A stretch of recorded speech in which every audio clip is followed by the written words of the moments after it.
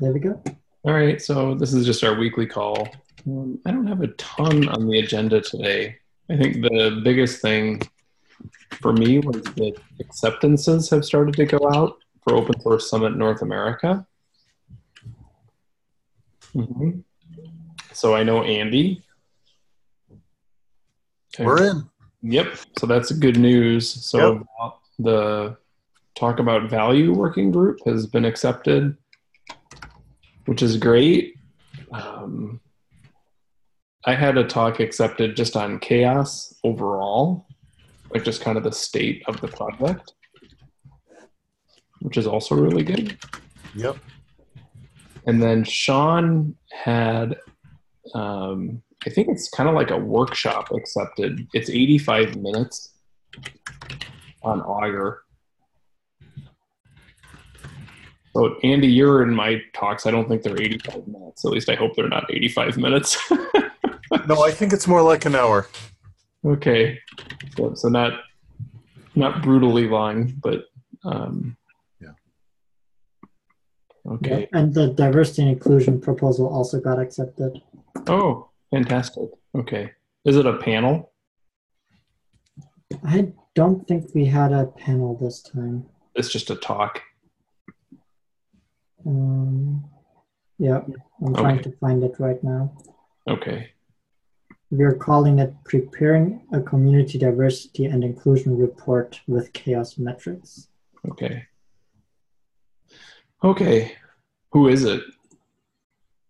Do you remember? Yeah, I don't remember. So long ago. It was like two months ago, maybe a month ago. Okay. Um, well, that's good. I, I think everybody's had some good success. I don't know, Daniel, do you know if anybody from Grimoire Lab had submitted anything to Open Source Summit North America? Unmute. We are- Um, yeah, um, I know some people sent something. I don't know if they have received any Notification. response. Yeah. Okay. Okay, doke. Um, so that's good. So happy about that. Um, and then I guess while we're still kind of on the topic of, does anybody else have anything with Open Source Summit North America? That's great. I look forward to seeing everybody there. So then the day prior to Open Source Summit North America is CHAOSS Con. Um, I have, just from my end, I put together a, with the help of other people, a sponsorship prospectus. I think Georg actually put together the draft, and then we just kind of worked it down. So thanks, Georg. Yeah. And I sent it out to Yep, I've sent it out to a variety of people at this point. So we're really just the Linux Foundation provides the venue at no cost, but then we need to find some money for coffee and stuff like that. You know, just to keep people happy during the day. Um, so anyway, those have been sent out. I suspect some will come through, so I'm not terribly concerned about that. Um, Daniel, you had mentioned that you might ask Grimoire Lab, or I'm sorry, Bitergia. Um, Yeah, I asked, but I I still don't have any answer. Okay. Okay. Not a problem. Like I said, I don't think it's going to be a, a huge concern. Um, so that's moving forward. Um, and then I know Georg has put together a call for proposals. Georg, do you want to share that here or do you want to wait? You're muted, Gary. Thank you. Yeah, I can share that here in the chat real quick. This is um, an email that I'm planning to send out to the mailing list if you have any edits. And thank you, Matt and Daniel, for already revising it and making suggestions. Um, the call for proposal this year is very short time wise. We only have two weeks because we were a little late in the game, but that's okay. We'll still manage if we just um, advertise it enough. Hey, could you put on here, while I'm thinking about it, how long we would want to talk to be? Are we going to do lightning talks or? That's all in the CFP. Okay, Um, I see. so if you go to the CFP, we have that detail there. Oh, I Um, gotcha. Oh, I see. Lightning talks, five minutes, regular session. Hands on. Do you think it would make sense to just copy paste this entire Yeah. CP at the bottom of the email. Probably so. Okay.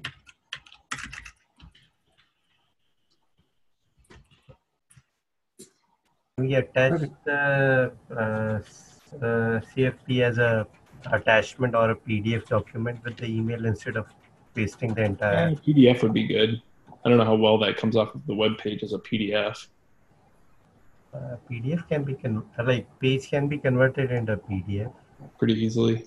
Yeah, or we can copy paste and format it in a PDF. Okay. Yeah. Um, I, I'm torn. I like that a PDF looks nicer. I also like that having it attached at the bottom of the email means you can just scroll down to read it.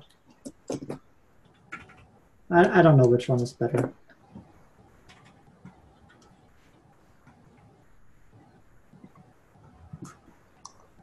Believe it or not, I don't have a huge opinion on this.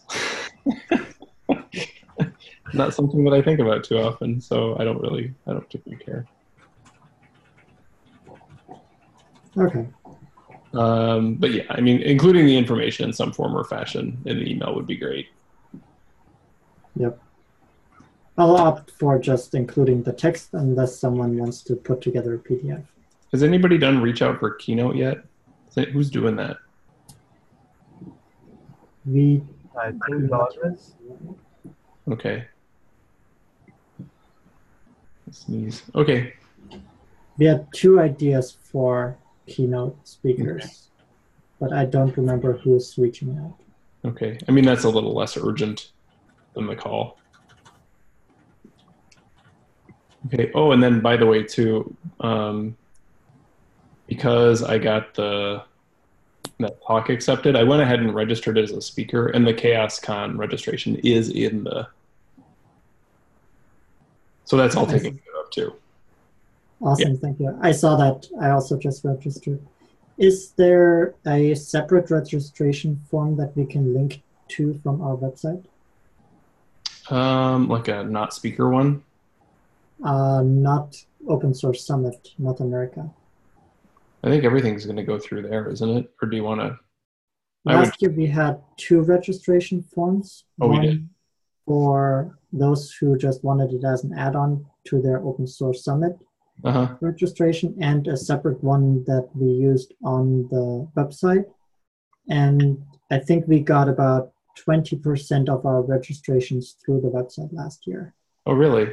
Okay. Um, no, I don't think we've done that yet. At least I, at least I haven't done it. So unless somebody else has done it, Since you're in contact with the Linux Foundation, can you ask them about it?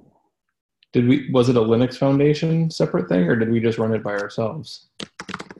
It was something they provided us with. Okay, I'll I'll ask him. Awesome, thank you. And if they can't do it, we just make a Google form. Okay. The nice thing was because they had the system, they were able to print us name tags, badges. What happened? Well, I'm sorry, i missed that. What? The Linux Foundation last year printed badges. Oh yeah, I'll make Mhm. sure they do that again. Yeah. Um, I'm adding something to the call.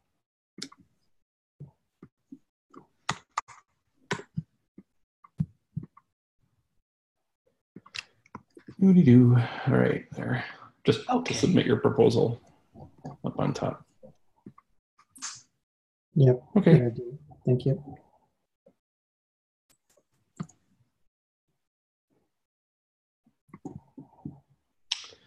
Okay, so that, I think that's it kind of for conferencey things. Does anybody else have anything on CHAOSScon or the Open Source Summit? Alrighty.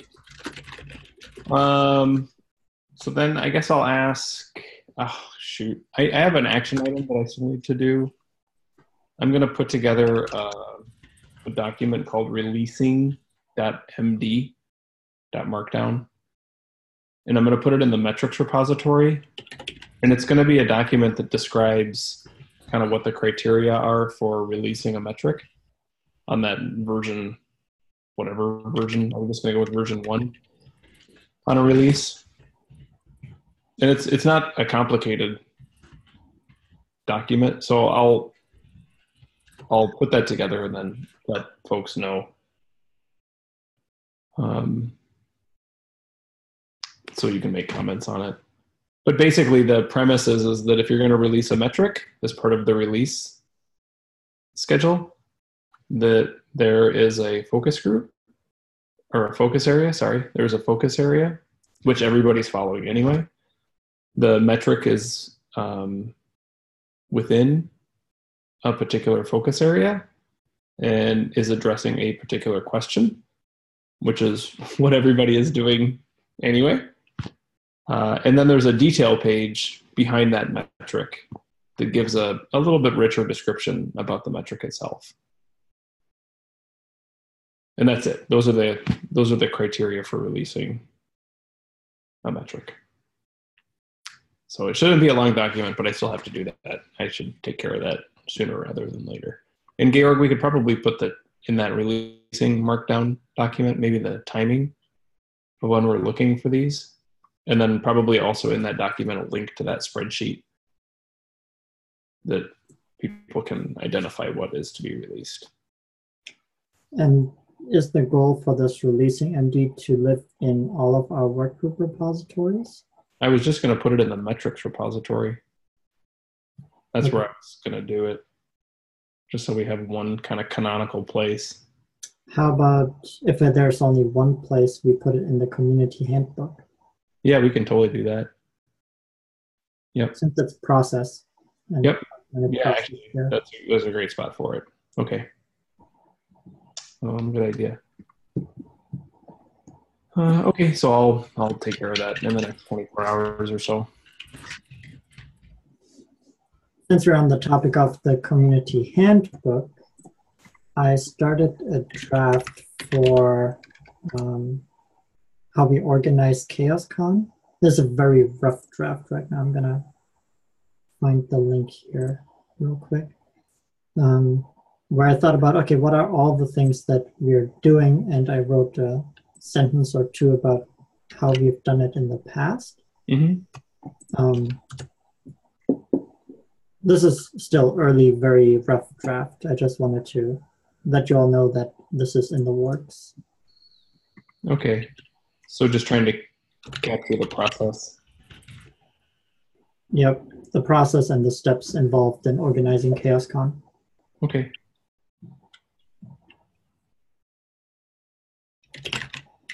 Great. Can you also post a link just for everybody and for posterity to the community handbook on GitHub? I can do it too. Oops. Um,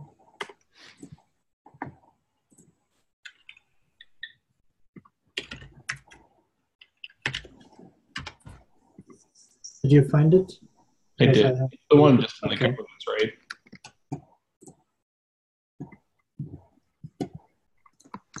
This, correct? Yes. Okay. So then underneath like the table of contents, would we have a bullet for say releasing metrics, like general handbook usage and then another top level bullet that would be releasing metrics Yes. and then another top level bullet that would be like planning a CHAOSS con or something like that? Yep. That's what I think it would look like. Okay. And we can always reorganize later. Well, then, okay, so then I wouldn't actually. Okay, no, uh, that makes sense. Sorry. I was going to say I wouldn't make a markdown page, but I would. Never mind. Okay. Okay, well, that sounds good. I will work in that. Um, any anything pressing from other folks here? On Friday, the New Stack released a podcast where Nicole and I were interviewed about the diversity inclusion working group. Okay. And we got a full 23 minutes on the podcast. It's a very specific amount of full time. Yeah, it was scheduled for 10 to 15 minutes, and we just had so much to talk about. Um, did that go? Is that up on the CHAOSS website at all? Uh, when you go, let's see, did I put it there?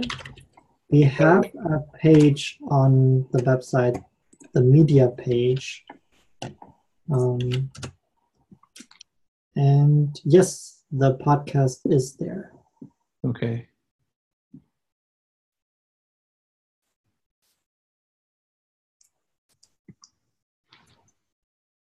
Gotcha. But it's hidden away a little bit. Maybe we need to add a community post to highlight it or something. That's a good idea. Yeah, maybe put it under CHAOSS just on that front page. Under Yeah. CHAOSS news. Yep. I mean, why not just keep that front and center?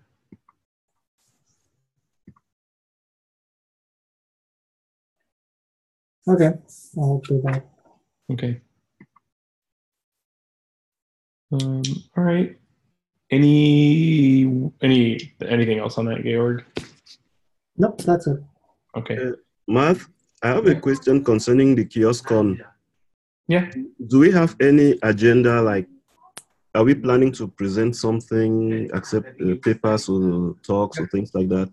Yep. So Georg's going to send out a call for papers or call for proposals probably today. I don't know today or tomorrow.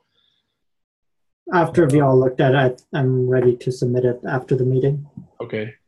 And so there'll be like I think in terms of presentations, if I remember right, it was 20 minute presentations that you could submit to Armstrong. Okay. And uh, anything in within the scope of open source, right? Yeah, I mean within the it's usually within the scope of probably health or CHAOSS related things. Okay. You know, so I mean I think like the ecosystem health stuff, the Seco health stuff, that certainly qualifies. Okay. Right, cool. Um, all right, great. Uh, working groups, anything pressing or exciting on the working group level right now? I know these are slowly moving along, slowly but surely, I should say. Don't mean to imply slowness.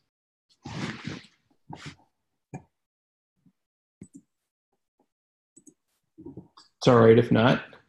Um, all right, software. Anybody? Anything? I know Sean's not here today. Mhm.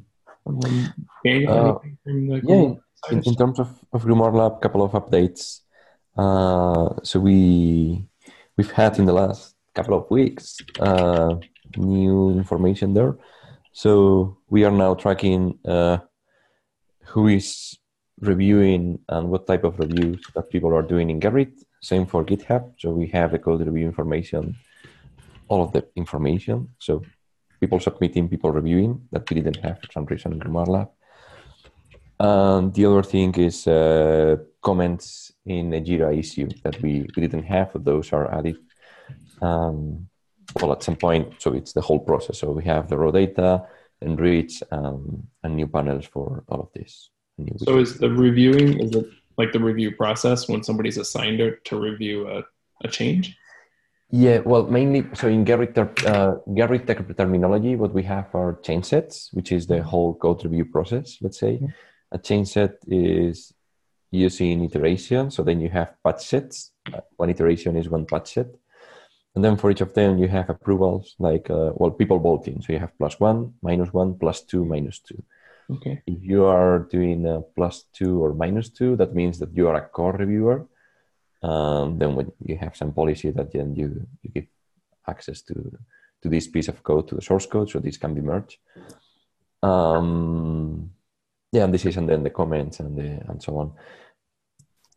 And well, we do have as well uh, CI information as well uh, bots verifying that this is passing all of the tests and blah blah, blah which is part of the approval section, kind of this. In in GitHub, what we have now is all of the review process. Uh, well, someone asking for new things and so on. And in the case of Jira, this is uh, related to the comments in well, basically all of the all of the comments done in an issue that we typically aggregated in certain metrics like number of comments or similar stuff. But now we have that info. So this is for Grimoire Lab. Okay. Is it all being aggregated in Perceval? Uh, so Perceval is a tool retrieving the information. So that means that for the backend of Gerrit in Perceval, uh, this has new code. For the backend of uh, GitHub in Perceval, this has new code. Same Okay. for Jira. And then uh, the same for the rest of the infrastructure. So we are enriching those raw indexes produced by Perceval and then uh, having either new panels or widgets, depend on. Okay. Is it panels based on like what what is the panel? Is it reviews? Like what would the panel be? Uh, well, I don't exactly remember, Okay. but uh, as far as I remember, the, the pretty basic stuff we are running right now is a number of code reviews done by each developer. So then you have things like number of commits, number of reviews, like plus one, minus one, plus two, minus two, okay. um, all of this. Yeah. Okay, so it's kind of a representation of the human activity associated with doing a review, less about the review itself. Uh, yeah, but at the same time, you can have all of the information for a review itself. Okay. So everything is is stored as a JSON document. So Okay. what we have now is a new JSON entry for each of the code review actions, events. So then if, for instance, if you look for the event, for the code review, for the change set 10,015, for instance, then you will see all of the actions on that specific change set. Okay. So then this depends on how you want to visualize the information. Gotcha. Okay. Well, that's interesting. Hmm. Uh, all right. Cool. That's So good. it was a long time requirement from the people, but uh, for some reason we didn't have the time. Now it's it's It just took a long time to get that information. Uh, no, it's it's like we were focusing on some other stuff, Oh, I gotcha. and now we have the time for this. So yeah, It's prioritizing when you can get this done. I got yeah, you. exactly. Yeah, it, it was. Okay. more- All right, cool. Um, so is that change been updated in the GitHub repository? Uh, what do you mean by that? Like in the documentation or somewhere else? I No, mean, in- commits in- are there. In the Grimoire lab, in the Perceval. Yeah, yeah. So if, if you look at the at the commit side, I mean Yeah. the list of commits for Perceval, you will see changes related to the same in Okay. OK or new panels and so on. Okay, that sounds cool. Great. Oh yeah, there it is. Okay. Yeah, probably we need an, a, a better way to announce new things in the software. But uh, Yeah, as opposed to just being subscribed to the repository. yeah, Um, I mean, you can always use the list to announce these things. I think people would have a, I have a tremendous interest in how the software is advancing as well, whether it's Grimoire Lab or Augur. yeah, I agree with you. Um, would somebody at Bitergia ever want to put together just like a, a two week highlight? You know what I mean? Like every two weeks or something like that? Or, Yeah, we've we've tried to do that, but uh, after a while, it's like you abandon that. And I know. I know. Um, maybe. Does anybody have any ideas on this? I, I would I would be in complete favor of trying to get the word out more aggressively on the changes that the software Hmm. that's being implemented in the software again, whether it's Augur or Hmm. Grimoire Lab, being able to express that.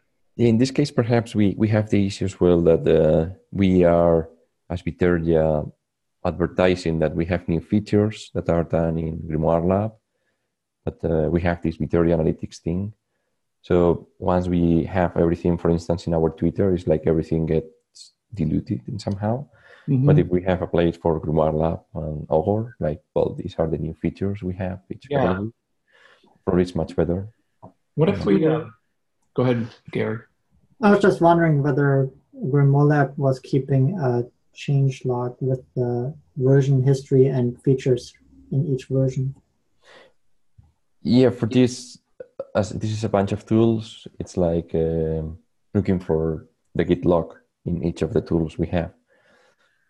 So yeah, What if um in in this meeting we don't have to do it right now, but like um on the like every two weeks kind of thing, Mhm. we actually spend some time in this meeting asking for folks from Grimoire Lab, Bitergia, and Augur to just spell out what the kind of like what you, exactly what you had just done, Daniel, Hmm. uh, and then we can not only send the notes from the meeting like we, we do every every week, but we could also send an independent, a, a separate email that was just kind of pulling out the software components. I mean, I could mm-hmm. easily do that.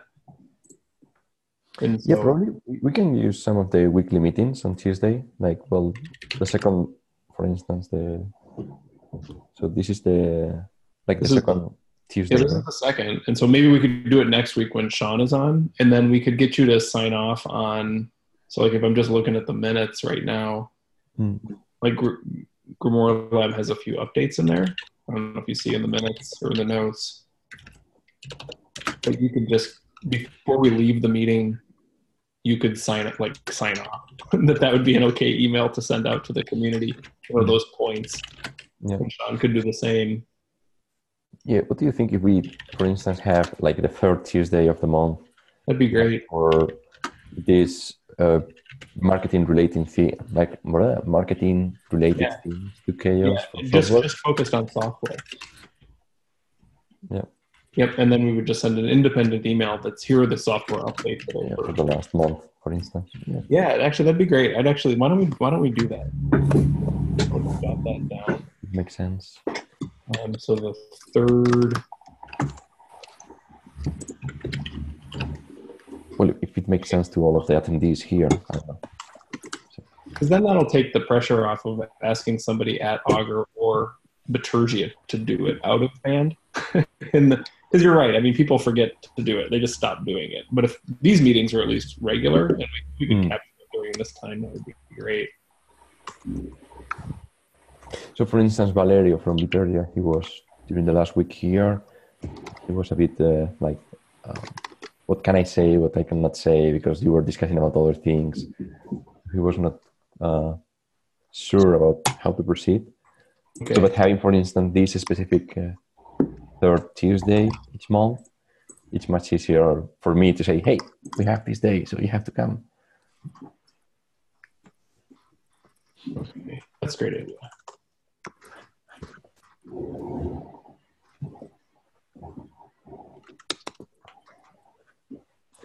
And having these emails would be good for probably to have like from from CHAOSScon to CHAOSScon like a list of features like hey we have these aggregated the six emails. So that- Well, right, that would be easy to assemble because once we start doing this every month, it would be easy to go back into the notes and assemble everything that's been advanced. Hmm. Between CHAOSS cons. okay we can try Yeah, yeah, I think let's try. Does anybody have any objection to that? Doesn't seem like an objectionable kind of thing, but I mean, really, this is just trying to get the word out and trying to put the software out in front of people. Mhm. Uh, okay, great. All right, cool. okay Um, anything else from folks?